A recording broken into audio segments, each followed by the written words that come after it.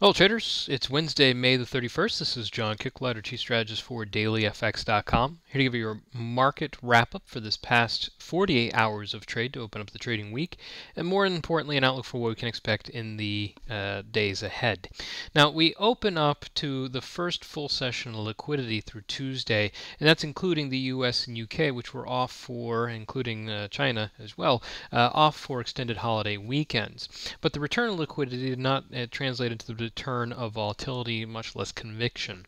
We did have a relatively restrained uh, trading session, but we did uh, meet some notable milestones. One of the milestones was the first down day for the S&P 500, down, down trading day that is, uh, in eight sessions. That ends the longest run, or at least matching the longest run, since way back in July of 2013. But that does not necessarily mean that we are going to immediately reverse course. Let's take a look at the previous seven day runs. This uh, actually through uh, September 2013 continued after a brief consolidation. Of course, we had the strong run that we had through February, which was an equivalent move of seven consecutive trading sessions, and that did not lead to a correction. In fact, we had that big gap up towards the beginning of March. So this is not indicative of an immediate about face. Don't treat this as a reversal. Very rarely do we have a low liquidity uh, uh, development of a trend uh, that is very trustworthy. Uh, we need conviction to some degree, and this is especially true when we're trying to promote a already stretched trend, which we have been, as well as trying to reverse a well-established one, which is perhaps and in some ways even more difficult. Uh, and we don't have that depth of conviction. Is there reason to, to be skeptical? Absolutely.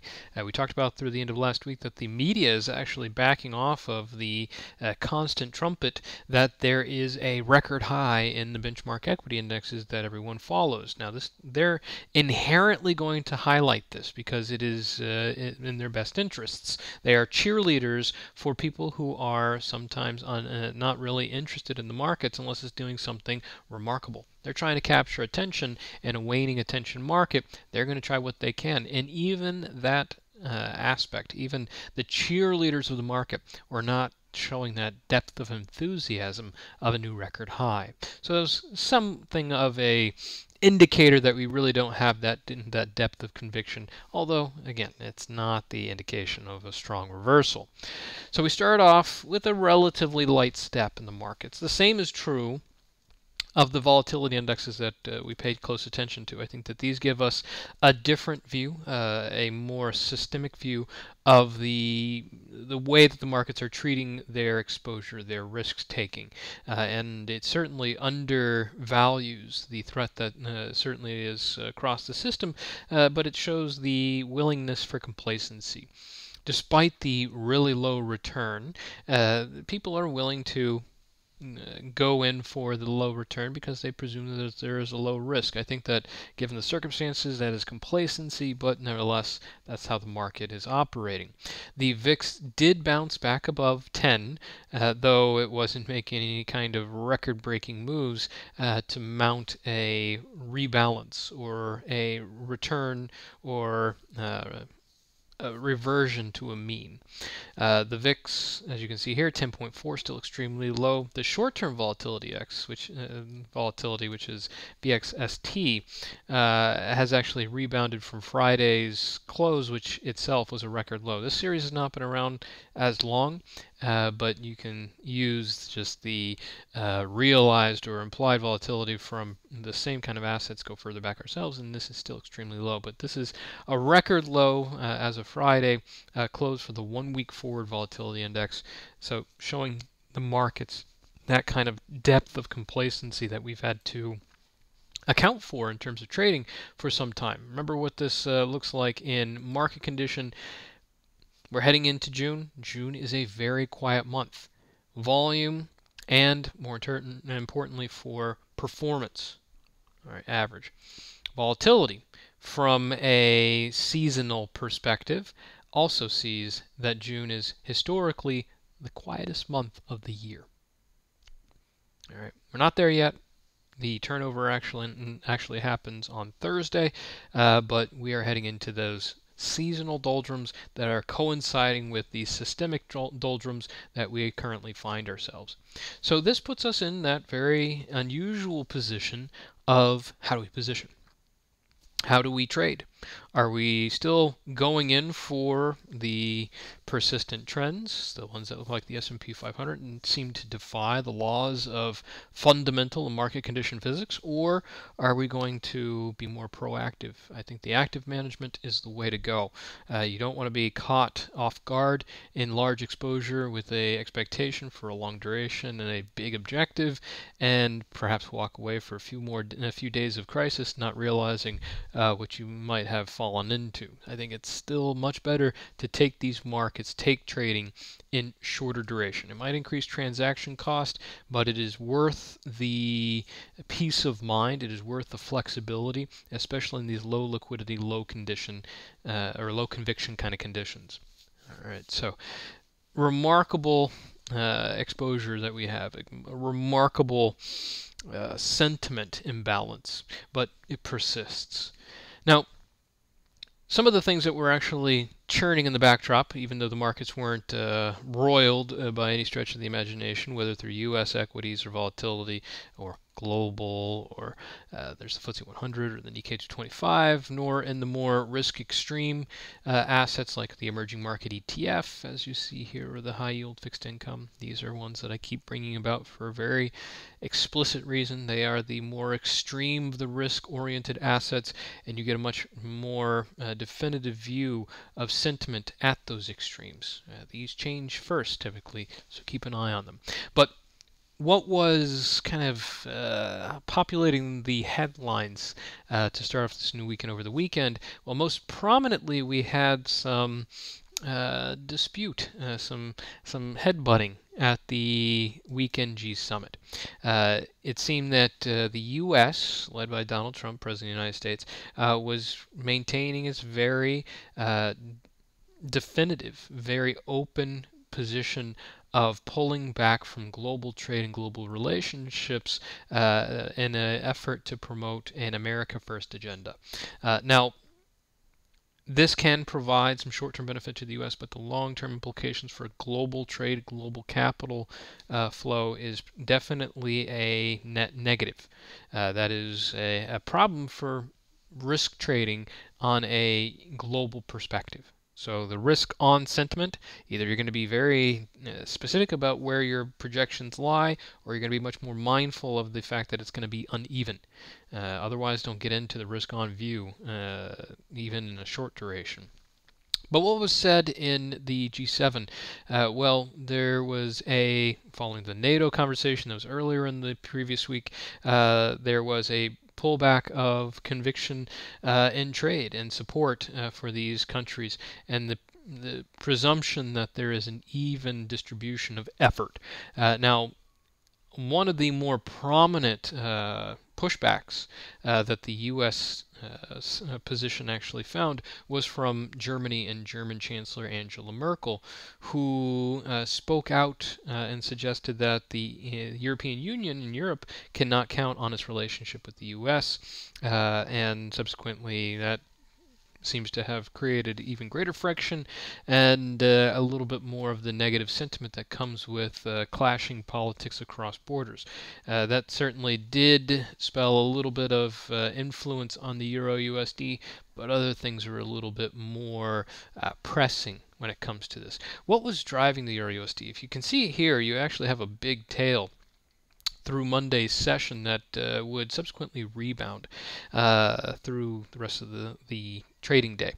Uh, well, go down a four-hour chart. I was watching this very closely because this looked like a, uh, series of lower highs, subsequently on a very uh, consistent support, which could turn into a nice break, perhaps a head and shoulders, although it's a bit sloppy. It has the hallmarks of a possible short-term technical reversal, and I'm looking for short-term and technically oriented setups because fundamentals are mixed or lacking conviction, so usually it, reverts to technical influence.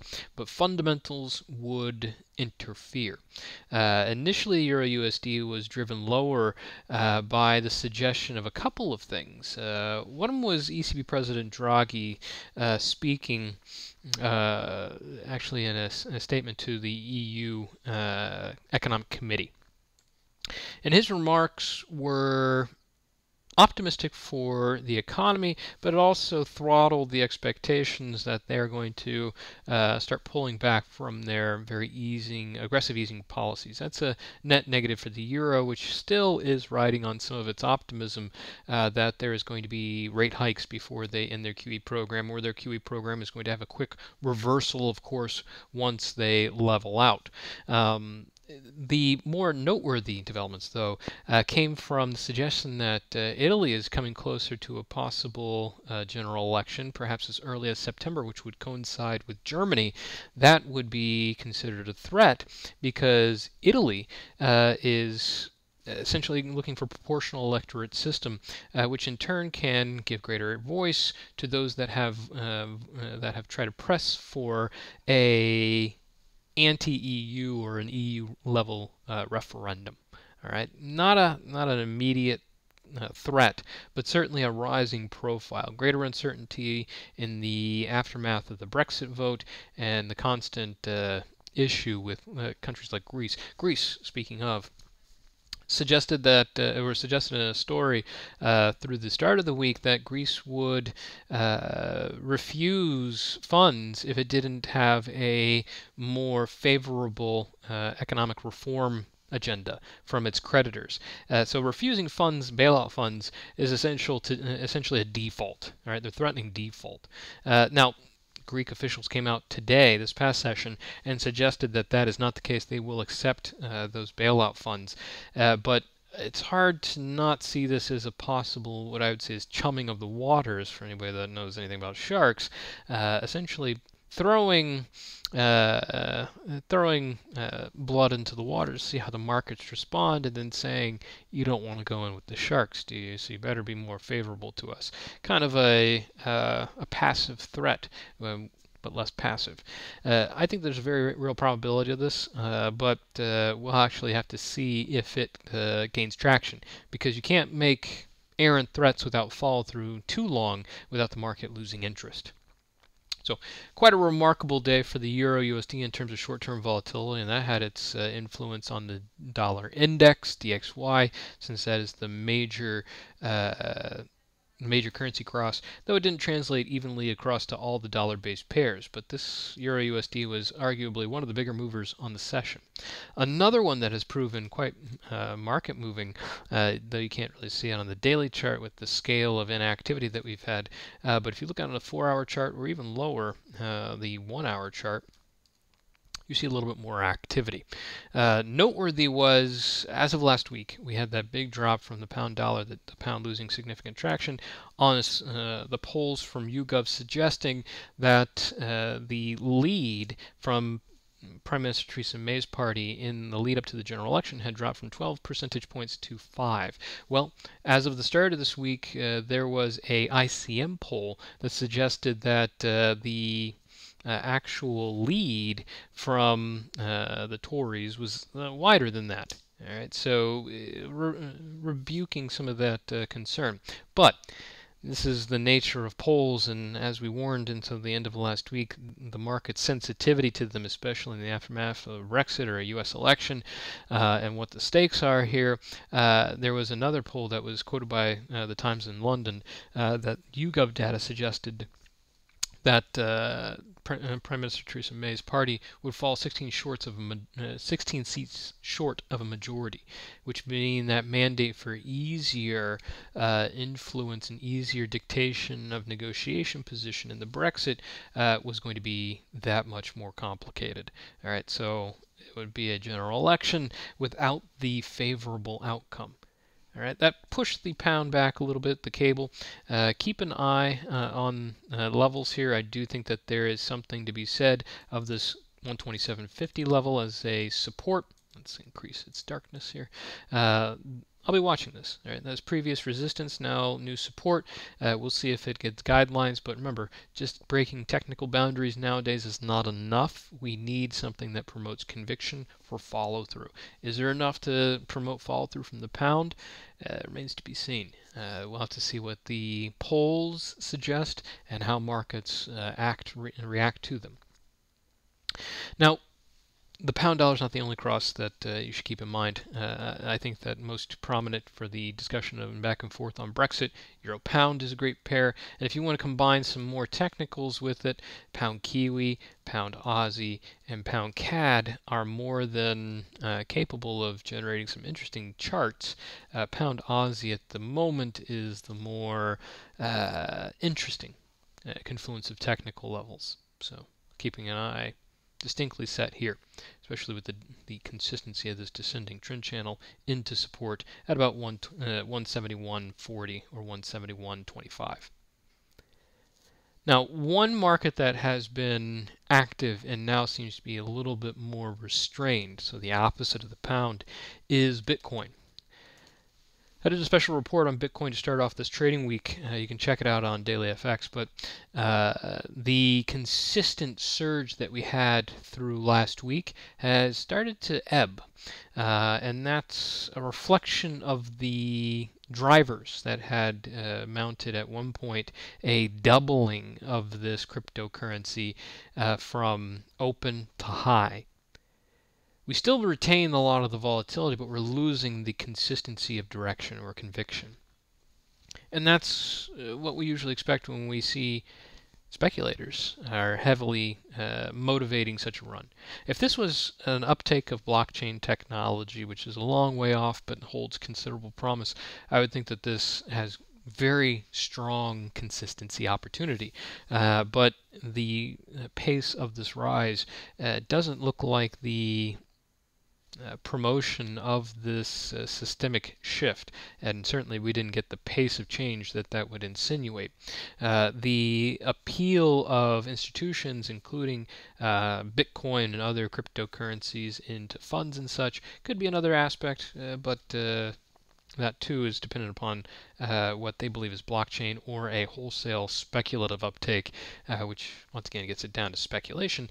Uh, averting or avoiding capital controls is a possibility, but there aren't uh, any uh, distinct flare ups in volume in particular regions around the world, and the big players like China are certainly cracking down on these efforts to circumvent the capital controls. So I think this has a lot to do with just pure speculation, people seeing the rise in popularity popularity of something like this, especially in a millennial uh, uh, investor sense. This is something that they can see a value for in a modern finance uh, and dynamic world where it's been very stodgy and slow to change and to adapt to the realities, and subsequently a lot of speculative funds chasing it in. But those speculative funds are only so uh, rich. They can they don't have the deepest pockets that they can uh, maintain markets consistently. And if something starts to fall apart, uh, they're what we consider weak hands.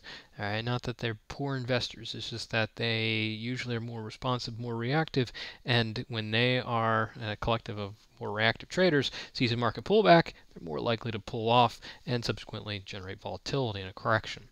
So keep a close eye on Bitcoin. I think this has lots of long term appeal, short term volatility, and a lot of questions in between. This is a, a, very strong statement on so many aspects of the financial system, and it should be in our regular review of the markets. All right, so in the next 24 hours, obviously, as liquidity continues to fill out, we're going to have to keep a close eye on risk trends. I think that this slow start to the week uh, may be indicative of the market uh, simply treating this as kind of the lull of the year. But I, uh, it's not worth growing complacent and treating this as, let's say, the 2014 summer lull or even the 2016 uh, summer lull. There is so thin liquidity there's so much leverage in the exposure that the markets have that if we have a serious problem, it is going to uh, very likely see a extreme deleveraging. So be very mindful of the risks that this represents. and be uh, reactive, uh, be flexible. And what I have to remind myself of all the time is uh, fundamental uh, interpretation, motivations can change quickly amongst uh, such a flippant crowd, and I have to be ready to accept that and reevaluate from the way that they're seeing it. This is the kind of markets that we're dealing with, especially with the market participants. But in terms of tangible event risk, uh, the docket has quite a few pieces of event risk, but I think that uh, some of the most concentrated is actually going to center upon the emerging markets. Here's emerging market ETF. All right, lots of gaps. Let's actually we'll turn it to an area. All right, so we want to see some consistency in this because we, we've hit our head on some very noteworthy resistance here. Follow through beyond the 42 level is going to require some degree of conviction. Now, conviction is very tough to come by in emerging markets because you really have to be convinced that the otherwise very risky uh, area of investment is stable or there is just a such a a questionless rise in appetite for yield that people will ignore the risks. Uh, but we have plenty of reason to truly evaluate the uncertainties, especially as it uh, as it runs by the the docket.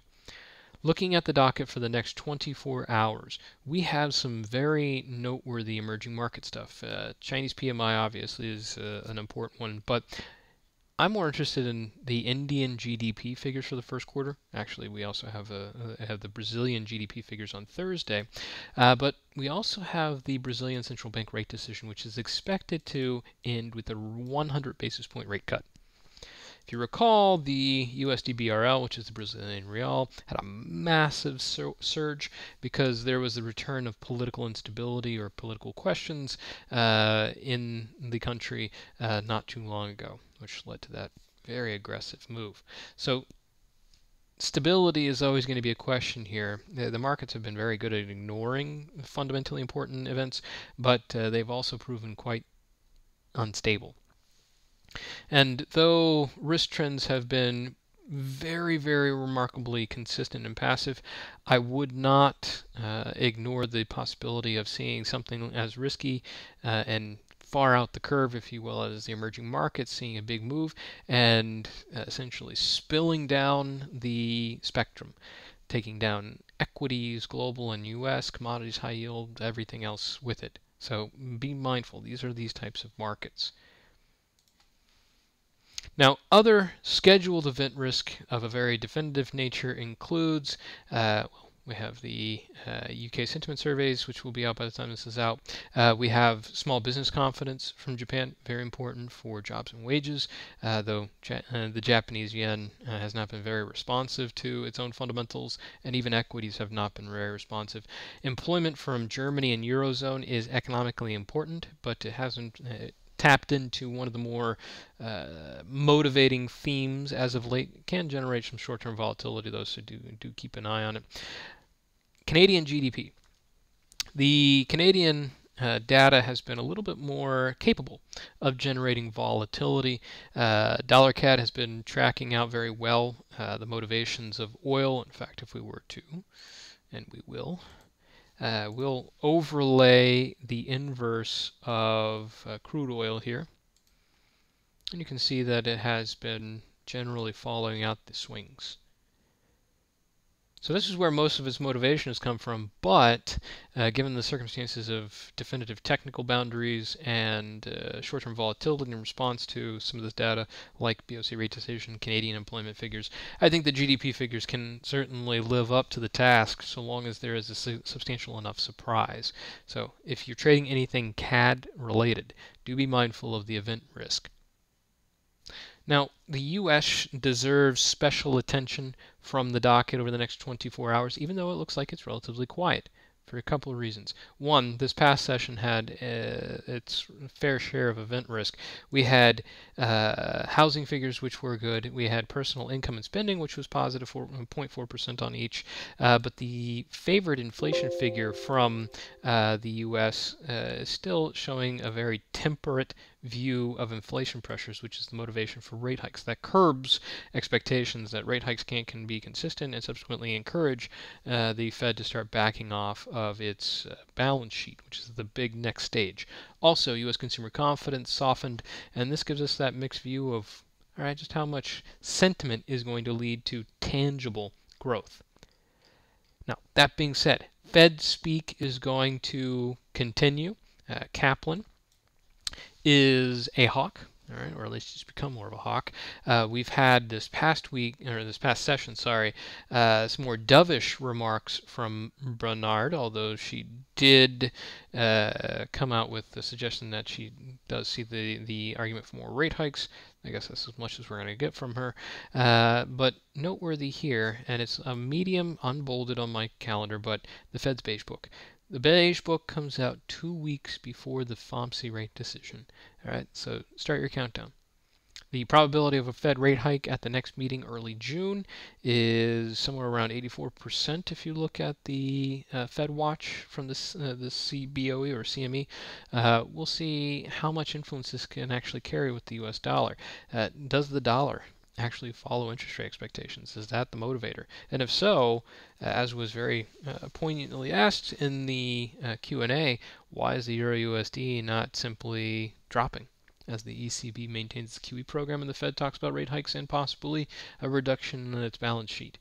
Obviously, this is not a straightforward driver. This is not the key catalyst for the dollar and, in turn, Euro USD and other uh, dollar-based majors. All right, so watch activity levels, watch conviction, watch event risk. A lot going on in the markets, but it's not the trends that we would prefer, most of us as traders, uh, but rather measured discrete moves, which can definitely be taken advantage of if you uh, trade with the right approach. All right, we'll wrap it up here. We'll do our next rundown of these markets tomorrow. Until then, I wish you good luck trading out here.